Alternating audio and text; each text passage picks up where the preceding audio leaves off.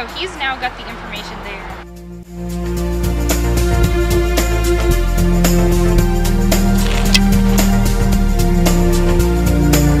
Two point eight seconds for thirty-six degrees.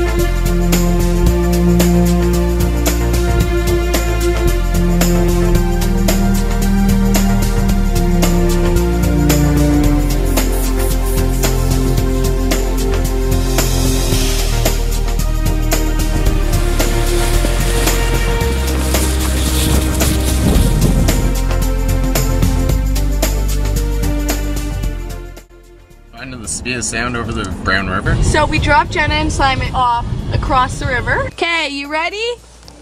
Yeah. Okay, three, two, one.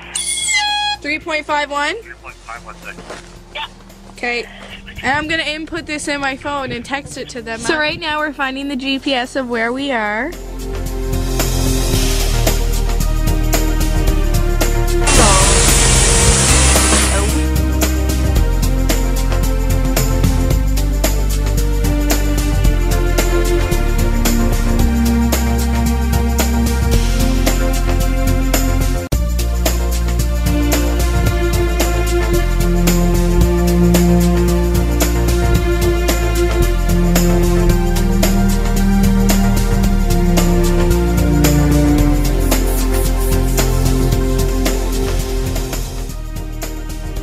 just amazing what we learned. Not to mention the new technology we use to learn about this stuff like OneNote and Marvin and just all this awesome stuff that's going to be really useful next year in university. And the whole wonder thing, make you kind of think outside the box. Oh, class has made us like come together and like communicate and get along with each other.